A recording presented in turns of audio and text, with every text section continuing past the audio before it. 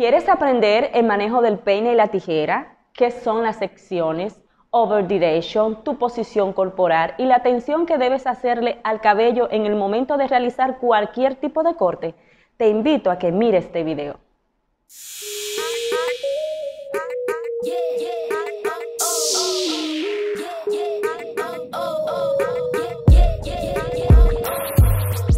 Hola mis apasionados y apasionadas del mundo de la belleza.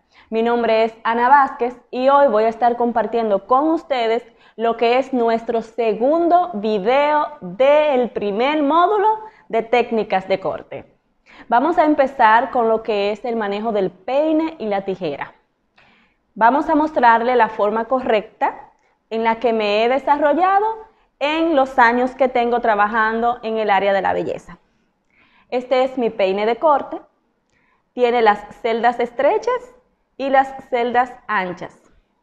¿En qué me sirven las celdas anchas? Me sirven para peinar el cabello, para desenredarlo y posicionarlo. Y también me sirven, este dientito que ustedes están viendo aquí, que está a la mitad, me sirve para yo hacer las secciones, las particiones del cabello. Voy a mover mi maniquí delante de ustedes para que puedan ver más claramente. Voy a sostener mi tijera, ahora le explico cómo sostenerla de esta manera. Si observan lo que le estaba explicando, tenemos en el peine lo que son las celdas anchas. Ellas me ayudan a peinar el cabello de mi cliente para no agredir al cliente, me permite mejor permeabilidad. Luego que yo realizo la sección en el cabello de mi cliente con los cuatro primeros dientes del peine. Miren cómo tengo mi peine elevado. Vamos a ver, buscar el ángulo que ustedes puedan verme mejor. Vamos a ver ahí si me ven un poquito mejor. Luego que yo, vamos a hacer la sección después del flequillo. Sostengo mi peine a la mitad. Esto me ayuda a yo llevar el peine a la otra mano y me ayuda también a yo girar el peine cuando necesite girarlo. Muchas veces voy a utilizar las celdas estrechas para tomar lo que son las secciones en mis manos y otras veces voy a utilizar las celdas, los dientes más anchos para yo peinar el cabello y facilitarme lo que es el peinado en el cabello de mi cliente. Elevando el peine vamos a decir que a 135 grados, solamente utilizo los cuatro primeros dientes de mi peine para facilitarme a yo hacer la partición y con este dedo empujo el peine con el índice. El índice es el que empuja mi peine, el que lo lleva yo no hago nada con el peine, lo hace el índice. Yo solamente lo posiciono para que el peine, los cuatro primeros dientes, me agarren el cabello y con el índice de mi mano izquierda yo voy a llevar el peine o eh, eh, el peine al punto donde yo quiero terminar mi sección, dejando mi mano izquierda sosteniendo el cabello, entonces yo procedo a peinar el cabello y a dividirlo cada uno para su lugar, donde me crea la partición del cabello para poder hacer las secciones. Este es un poquito del manejo de cómo ustedes pueden manejar el peine. Se sostiene con estos tres dedos, mayor, índice y pulgar. Estos son los tres dedos con los que voy a manipular el peine. Ahora bien, luego que yo manipulo mi peine, hago la sección en el cabello de mi cliente que yo quiero, lo llevo de una forma correcta a mi mano izquierda, con los dientes hacia adentro. ¿Por qué con los dientes hacia adentro? Porque así cuando lo vaya a buscar, me queda directamente práctico para proceder a hacer la siguiente sección. Por eso cuando lo guardo, lo guardo con los dientes hacia adentro. ¿Cómo utilizo la tijera? ¿Cuáles son los dedos que debo depositar mi tijera? Ahí mi compañero me va a decir si se está viendo bien aquí en la cámara. Como ustedes pueden, con el dedo anular, que es donde va posicionado el ojal, aquí el orificio de la tijera, donde tiene el soporte. Este va donde es el dedo anular. Lo posicionamos en el primer nudillo del dedo anular. Con el dedo meñique lo estoy sosteniendo, le, le hago un poquito de presión aquí, lo sostengo. Y la tijera cerrada yo la llevo en dirección al tercer nudillo de mi dedo. Tengo tres. Primero, segundo y tercero. Aquí en el dedo anular yo la tengo posicionada en el primer nudillo. Y en el índice estoy ubicando que mi tijera esté en dirección hasta el tercer nudillo. Esta es la forma correcta de nosotros posicionar la tijera en las manos. Ahora, con el dedo pulgar, yo solamente voy a entrar la puntita del dedo. No lo tengo que entrar entero, solamente la puntita. Con la puntita del dedo hago presión a la tijera y puedo abrir y cerrar. Abrir y cerrar. Pero mis dedos aquí, mis cuatro dedos, miñiqui, anular, mayor e índice, se quedan estáticos, no se mueven. Solamente estoy moviendo el pulgar. El pulgar es el único dedo que yo debo de mover en el momento de hacer el corte. Igualmente, si yo volteo mi mano, voy solamente a menear el pulgar. No voy a menear estos cuatro dedos. Estos cuatro dedos siempre se quedan eh, tranquilitos. Solamente son para ayudarnos a sostener la tijera de esta posición, en esta posición, con este dedo ustedes la llevan hacia atrás. Aquí tengo mi tijera, aquí tengo el pulgar, volteo mi tijera si quiero cortar con la mano hacia abajo y comienzo a cortar con la puntita del pulgar. No mucho, solamente muevo el pulgar, es el único que se mueve. Los otros dedos sirven para dármele soporte a la tijera. Igualmente vamos a hacer el siguiente ejercicio aquí, de frente. Bien. Espero que esto lo puedan practicar en casa. Y constantemente a diario, recuerden que la práctica hace al maestro. Ustedes puedan ir trabajando lo que es el manejo del peine y la tijera. Ahora, ¿cómo guardar mi tijera de una manera correcta para que no me agreda tanto a mí como estilista que estoy realizando el arte, ni a mi cliente. Cuando tengo la tijera, que la quiero guardar, ahora voy a sostener el peine, ¿qué hago?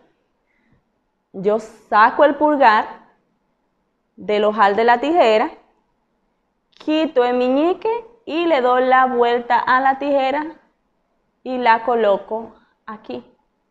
Esto me va a ayudar a que con estos tres dedos que le había hablado anteriormente, mayor, índice y pulgar, yo sostenga el peine. Puedo manipular el peine teniendo mi tijera guardada en esta posición. Esta posición me ayuda, una posición que me quede, no sé si se me ve bien aquí, que me quede fuera de la muñeca, porque ahí puedo doblar mi muñeca y mi tijera está aquí, no me, no me va a cortar, no me va a agredir. Puedo manipular el peine, doblar mi muñeca y mi tijera no me va a agredir. Pero tampoco cuando voy a peinar a mi cliente, no me va a agredir a mi cliente. Puedo pasar la mano por delante de mi cliente, en los lados de mi cliente, por detrás de mi cliente y la tijera no lo va, no le va a agredir porque la tengo guardada hacia atrás. Ahora saco la tijera y vuelvo y la coloco en el pulgar. Vamos a hacer el siguiente ejercicio. Guardo mi tijera, la sostengo con el meñique y la guardo. Saco mi tijera y la coloco. Guardo mi tijera, sostengo el peine, saco mi tijera y la coloco de manera correcta. Recuerden, el meñique me sirve para yo tomar el control y el equilibrio de la tijera. Me la sostiene. Me le da un equilibrio, un balance aquí con este soporte que trae la tijera. Y estos tres dedos me sirven para aguantar mi, tijera. Mírenlo. Miren los tres dedos. Miren el meñique cómo entra y miren el pulgar cómo entra. Y solamente se mueve un solo dedo. ¿Vamos bien hasta ahí? Llevo mi peine a la mano juntamente con la tijera. Puedo darle vuelta al peine, ya sea que vaya a utilizar las celdas anchas, los dientes anchos o los dientes estrechos. Ahora vamos a hablar de qué son las secciones y en qué me ayudan en el momento de realizar cualquier tipo de corte. Es una definición simple. Las secciones es la porción de cabello que se va a cortar. Las secciones, más adelante le voy a presentar un ejemplo. Tenemos lo que son secciones. Vamos a hacer el ejemplo aquí de este lado, porque quiero que ustedes vean el ejemplo claro. Tenemos lo que son secciones eh, mm, sí, aquí vamos. La voy a hacer de frente para, para que ustedes puedan ver. Una sección vertical. Ustedes pueden ver aquí una sección vertical.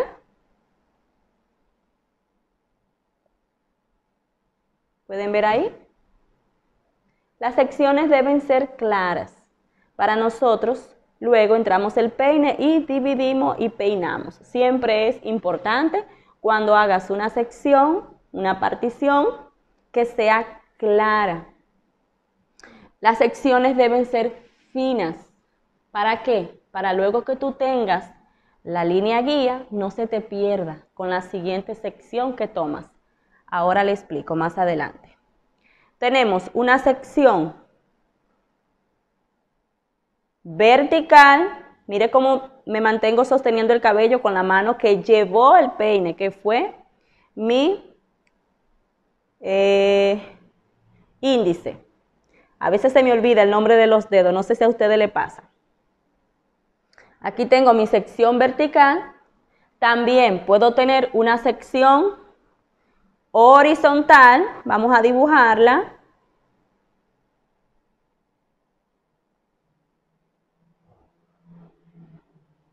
Vamos a ver si me quedó bien ahí.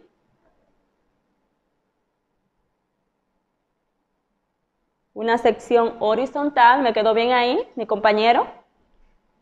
¿Me quedó bien aquí la sección horizontal? Porque le estoy haciendo de frente a ustedes para que ustedes puedan ir apreciándola. Y ahora vamos a hacer una sección diagonal.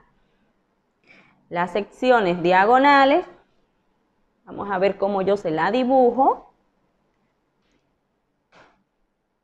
Primero peino el cabello en, la misma dirección como voy a hacer mi sección y una sección diagonal.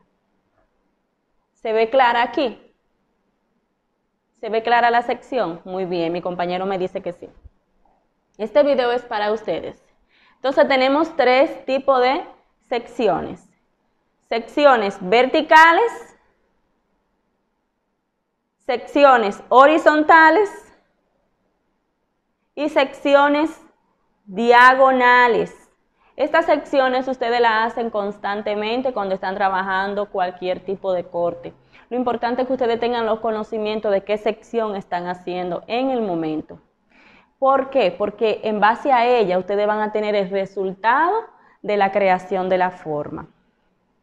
Una sección afecta a lo que es el incremento o la reducción del peso del cabello, del, eh, del peso del cabello en el corte. Le explico. Por ejemplo, en la parte de atrás del corte de mi muñeca, de mi maniquí, ella se llama Ana, igual que yo. Es bueno siempre ponerle el nombre a su maniquí. En la parte de atrás, debajo del hueso occipital, para realizar este corte, hicimos secciones, centrar, vertical. Vamos a posicionar un poco la cabeza de mi muñeca, de, de Ana.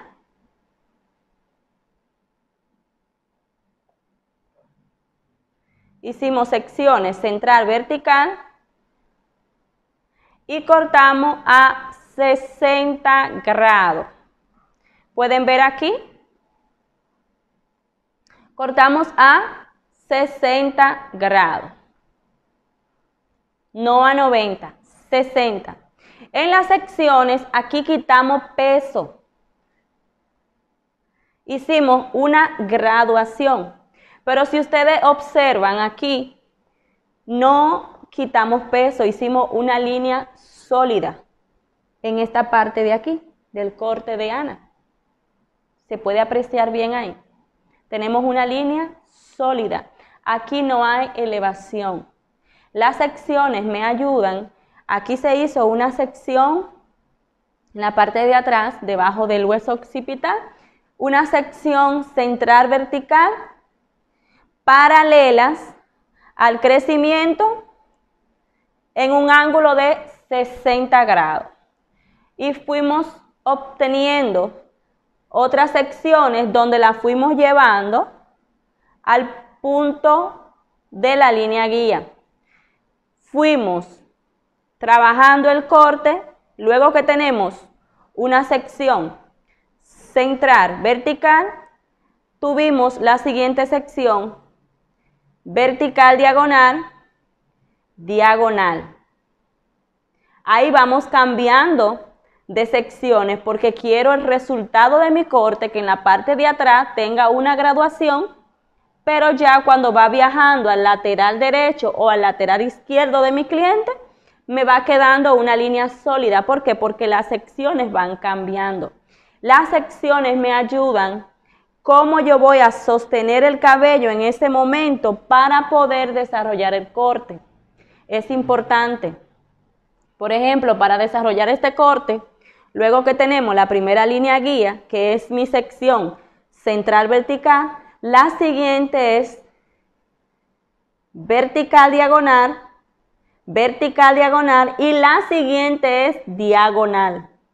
La siguiente puede ser diagonal horizontal porque es más, ya se está acercando a lo que es una sección horizontal.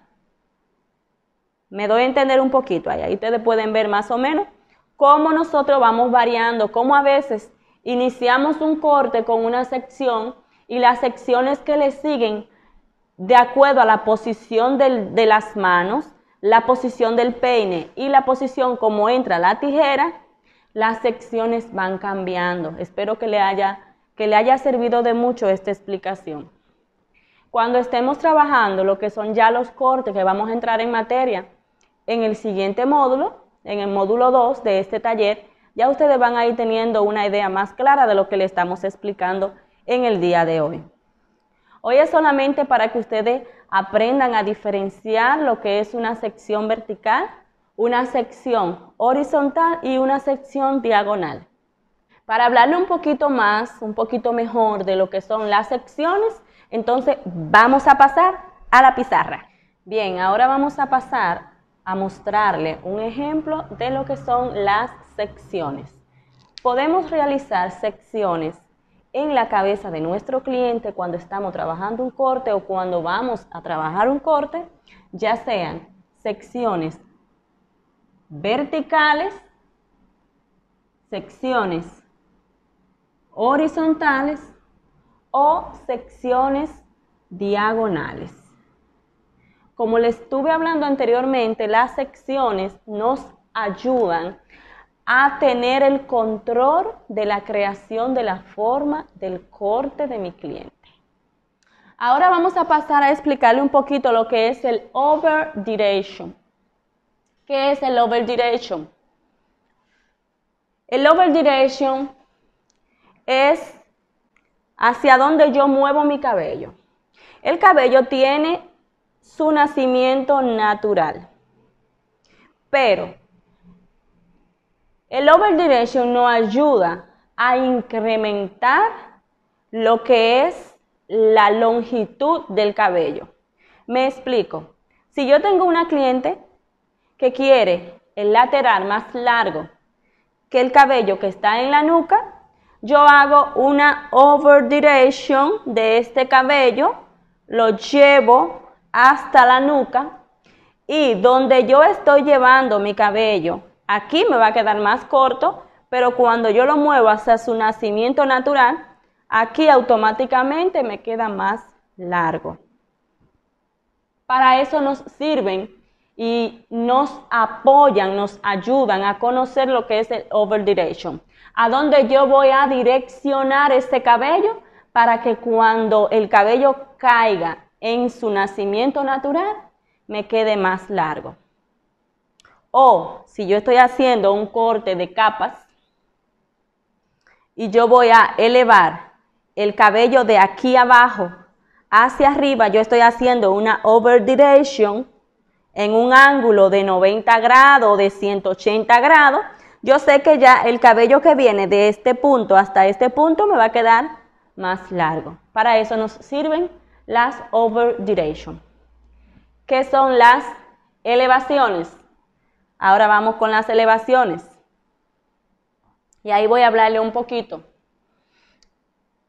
de las elevaciones. Las elevaciones nosotros podemos trabajarla. Hoy quise tener a Ana aquí con ustedes para que ustedes vean cómo yo en Ana tengo un corte a 0 grados, un lateral, y aquí tengo una nuca a 60 grados,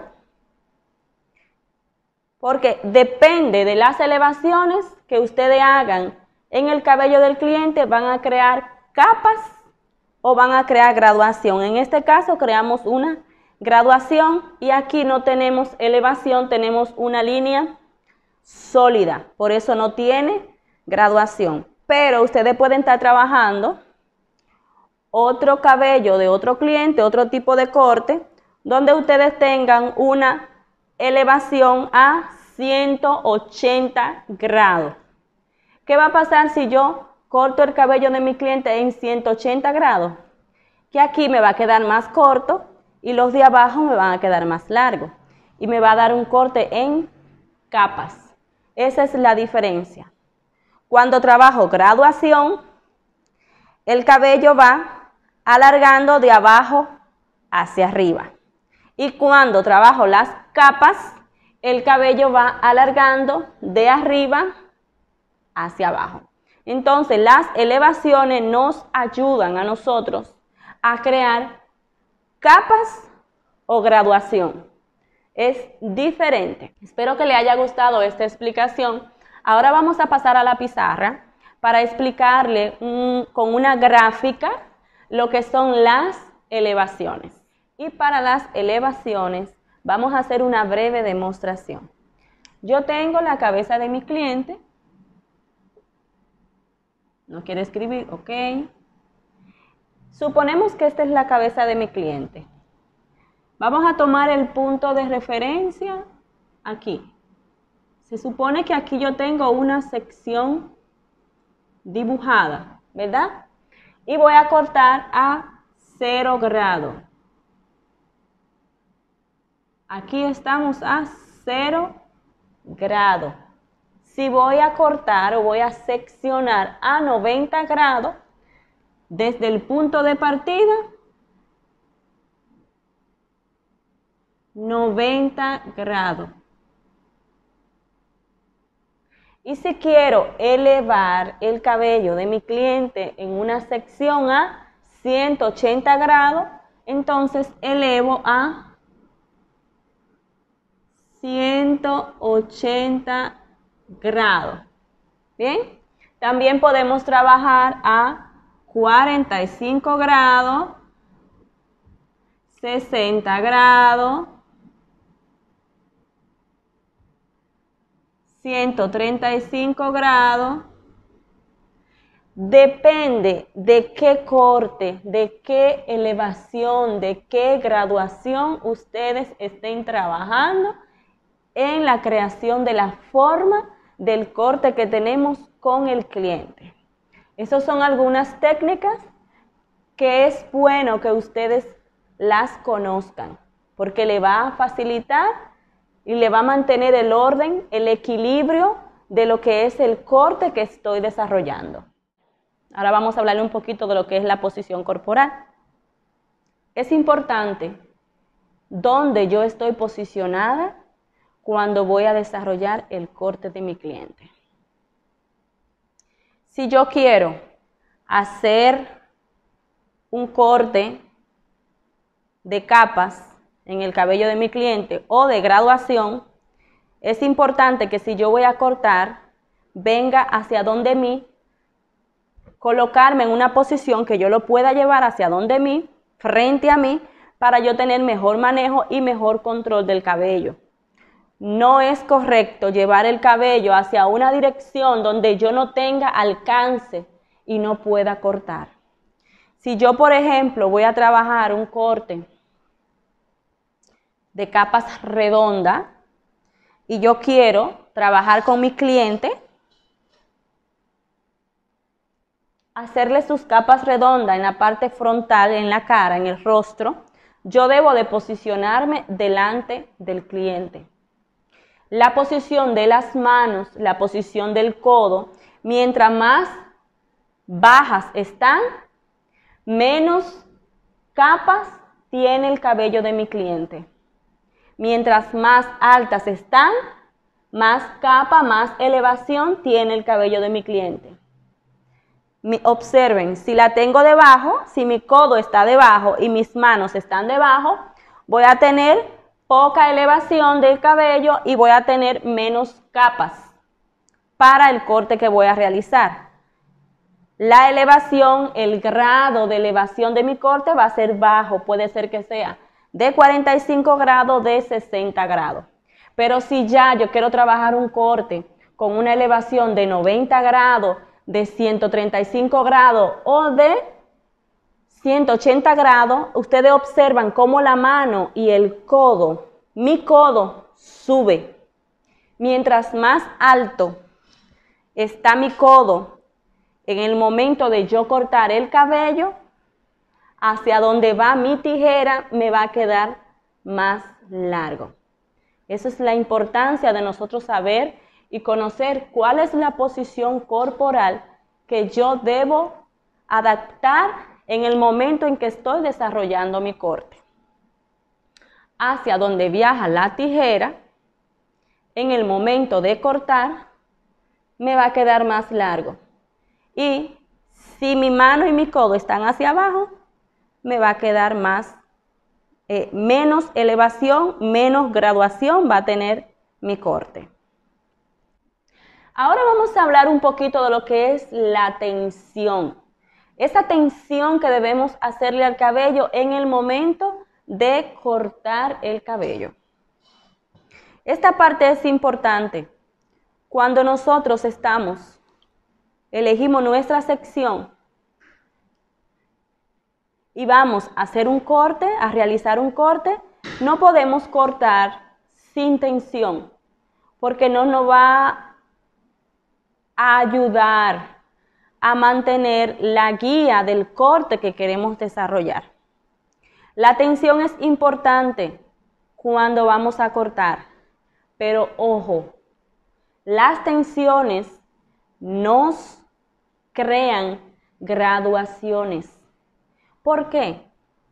Si yo quiero cortar el cabello de mi cliente, en este caso que tengo una línea sólida, cuando estoy cortando esta parte donde está la línea, no puedo hacer mucha tensión. ¿Por qué? Porque si hago mucha tensión aquí, entonces en el momento que yo corto y suelto mi cabello, mi cabello puede subir. También es importante que ustedes lo tengan pendiente en una textura risa cuando la estén cortando. En una textura lacia también. Y depende qué corte ustedes quieren realizar, si lo van a cortar 0 grado o si lo van a cortar haciendo una tensión, como el cuero cabelludo de mi cliente es movible, si yo hago mucha tensión, corto el cabello, en el momento que yo lo suelto, ¿qué hace mi cabello? Que sube. Entonces, una tensión muy fuerte me puede crear en el corte, en la forma del corte, una graduación sin yo querer. Es importante cuando ustedes estén trabajando las graduaciones, ahora vamos a las graduaciones, ahí sí hacemos una tensión precisa, una tensión clara en el momento de yo cortar. ¿Para qué? Para que la siguiente sección que yo haga y elijo y me posiciono y hago la tensión correcta, yo poder mantener el control de mi corte, de mis graduaciones. Esto es importante que ustedes tengan pendiente. Como le estaba hablando, las secciones que realizamos en el cabello del cliente, over duration, conocer lo que es, que me causa, la posición corporal que yo debo de asumir con mi cliente en el momento de realizar el corte y la tensión que yo le hago al cabello en el momento de realizar mi corte. La tensión es importante en el momento de crear una línea y en el momento de crear una graduación. Es importante que ustedes mantengan ese control, porque en base al control que ustedes mantienen con los dedos, el peine y la tijera, y también la tensión que ustedes hacen les va a facilitar el resultado que ustedes esperan tener de la creación de la forma de ese corte que están desarrollando. Esto y mucho más, ustedes van a seguir aprendiendo, van a seguir practicando en los siguientes módulos que vamos a ir desarrollando en este curso Técnicas de Corte Online. Te invito a que sigas disfrutando, que sigas cada día aprendiendo las técnicas correctas para desarrollar cualquier tipo de corte. Y en el siguiente módulo ya vamos a trabajar con nuestro primer corte, así que no te lo pierdas.